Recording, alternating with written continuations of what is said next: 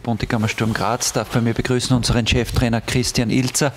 Chris, was war da alles drin heute in diesem Spiel hier bei der Austria?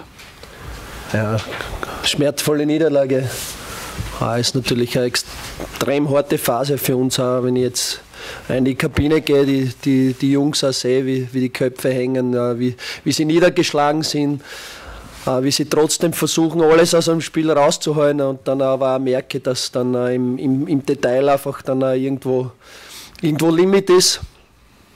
Wir uns dann ja, sehr offene Spiele, so wie es heute war, sehr ausgeglichene Spiele. Ich denke, wir im, im Ballbesitzspiel, so in, in, in die ersten zwei Dritteln, schon das bessere Team, ohne jetzt auch wirklich aus, aus diesen Situationen dann auch für Torgefahr sagen, weil uns einfach vorne dann auch die, die Durchschlagskraft gefehlt hat. Da geht es mit der 0-0 in der Pause, startet man dann eine zweite Halbzeit mit quasi mit 0-1 das ist dann sinnbildlich. Also wir haben vorne die Durchschlagskraft, hinten dann auch immer wieder Fehler dabei, die uns dann einfach ein Ergebnis zunichte machen. Wir haben dann in unserer gefährlichsten Phase, wo wir zwei Top-Chancen haben, kriegen wir diese ja, diese rote Karte, die natürlich dann das, Spiel zu einem extrem schwierigen Spiel gemacht hat dann versucht hat, den, den Jungs auch den, den Glauben noch zu, zu vermitteln, da in Unterzahl noch was mitzunehmen.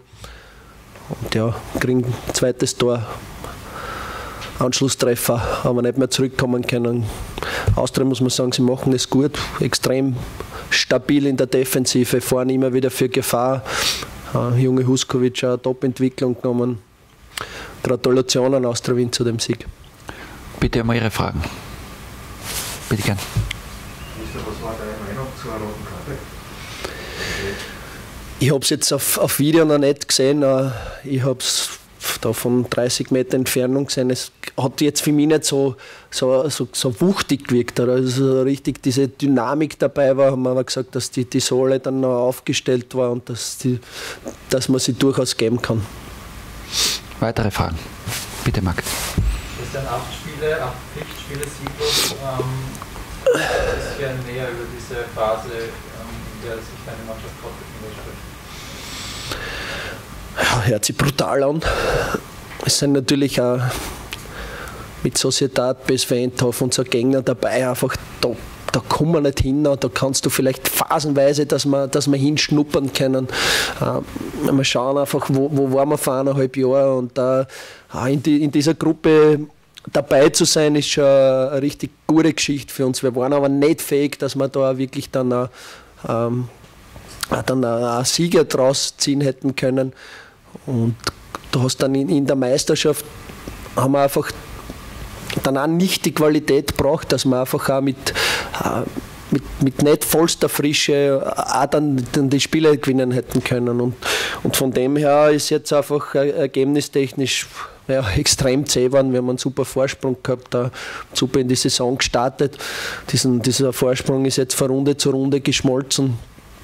Aber mir geht es einfach darum, dass ich trotz aller Widrigkeiten, äh, trotz aller Dinge, die wir erfahren, dass ich mein Team sehe, das zusammensteht, das einfach versucht, wirklich in, in jedem Spiel aus sich rauszuholen, dass jeder Einzelne versucht, sein, sein Potenzial abzurufen, dass wir halt dann nicht immer die richtigen Entscheidungen treffen, dass, wir, dass uns vorne die Spritzigkeit, Wendigkeit fehlt, um, um, um dann richtig den Final den Block auseinanderzuspülen und da hinten auch immer wieder Fehler dabei sind. Das, das können wir uns im Moment nicht wegrennen, das können wir ansprechen.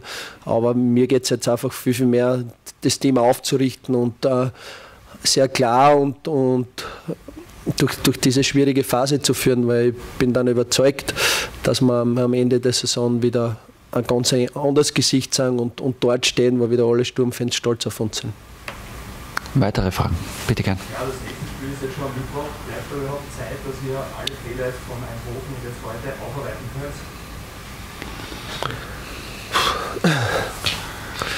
Hm. Es, da geht es vielmehr um, äh, um, um, um, um die Spieler einfach im, im Kopf wieder bereit zu machen für, für ein Spiel. Wieder gegen eine massierte Abwehr, dann äh, hat die, die nötige Frische, dass da der Kopf nicht zu, zu eine harte Drucksituation entwickelt für die Spieler. Und das ist einfach für mich entscheidend, dass dass die Spieler lernen, um, umso, um, umso stärker der Druck wird, dass einfach das abrufen, was, was normal im Training immer liefern können. Das auch in, in, in, in Drucksituationen, wo es nicht vollste Kräfte haben, wo im Kopf eine Müdigkeit liegt. Einfach normal Dinge, die zu tun sind für die Mannschaft, dass man die in einer großen Beständigkeit da in, in solchen Phasen abrufen kann. Dass man als, als Team zusammenarbeiten, dass man Überzeugung und Glauben behaltet, da die, diese Spiele gewinnen können, dass wir unseren Punktestand noch aufbessern, unsere Ausgangsposition nicht mehr verschlechtern, sage ich einmal, bis, bis, zur, bis zur Weihnachtspause. Und da ist einfach viel mentale Arbeit gefragt und nicht zu viel Fehlerorientierung, weil die Spieler haben eh sowieso zu viel Negativität und Pessimismus jetzt auch drinnen durch dieses Erlebte, durch einfach auch Gegner, wo man einfach, wenn man bis Eindhoven, wo man dann nicht hinkommt, das ist, das ist natürlich auch, auch was, was mit den Spielern was macht im Kopf, wenn man sich Dinge immer wieder hinterfragt, auch bei sich selbst. Und da, da, ist für mich einfach wichtig, den, den Spielern Positivität zu vermitteln, weil zu viel Negativität und Pessimismus ist extrem hinderlich für den Erfolg.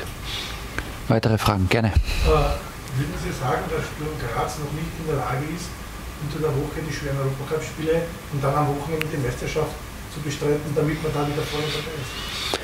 Ich würde so sagen, wir haben im letzten Jahr einen Weg begonnen.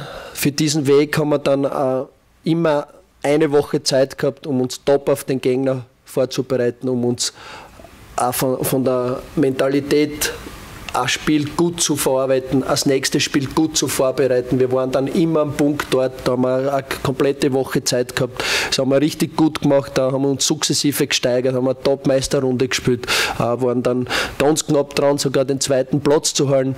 Und dieser Platz hat uns die Qualifikation für Europa League gebracht. Das ist was, was für, für einen Verein auf wirtschaftlicher Seite extrem wichtig ist, für jeden einzelnen Spieler in seiner Entwicklung äh, extrem wichtig ist und für uns als Mannschaftsentwicklung uns auch einen enormen Erfahrungsschatz gibt und dass wir jetzt einfach in, in einer Phase stecken, wo wir das äh, noch nicht hinkriegen, in der, unter der Woche dann eine Europa League spielen und am, am, am Wochenende die Meisterschaftsspiele dann am Stück mit einer Souveränität zu gewinnen, wo du vielleicht gar nicht immer das Maximum an deinen, deinen Kräften brauchst. So weit sind wir noch nicht. Äh, das, das müssen wir einsehen. Wir müssen aber uns denke ich, das dann auch top analysieren, top verwerten, was wir da an Erfahrungen gekriegt haben, um dann uns in dieser Saison wieder so gut zu präsentieren, dass wir wieder die Qualifikation äh, für dieses Programm, was wir jetzt erleben, schaffen und dann nächstes Jahr äh, wird, wird, werden wir dann äh, aus, aus in dieser Phase schon wieder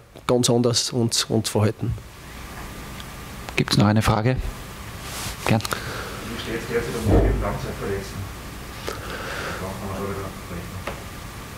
Gitteschwili ist äh, in, in Deutschland hat jetzt eine richtig gute, gute Trainingsphase dort äh, draußen äh, wird, hat acht Stunden am Tag Training, also ist jetzt in dieser Trainingstherapiephase schon sehr weit.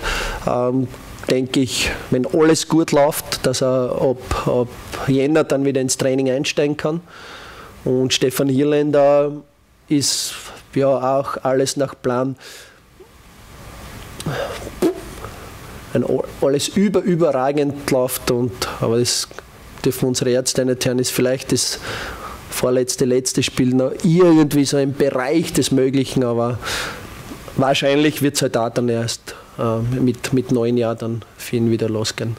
Und äh, Sandro Ingolic ist voll im Training und Vincent Drum auch voll im Training. Also die, die beiden Spieler fehlt natürlich jetzt komplett die Matchpraxis, äh, aber sie trainieren wieder mit der Mannschaft und sind fit.